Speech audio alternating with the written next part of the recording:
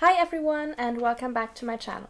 Today is match day, so I'm taking you along to my first volleyball match of the season.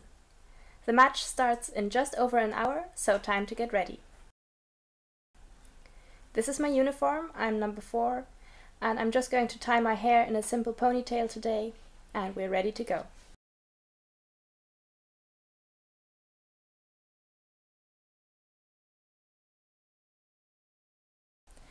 I've just arrived at the sports hall and we started with warm-up straight away.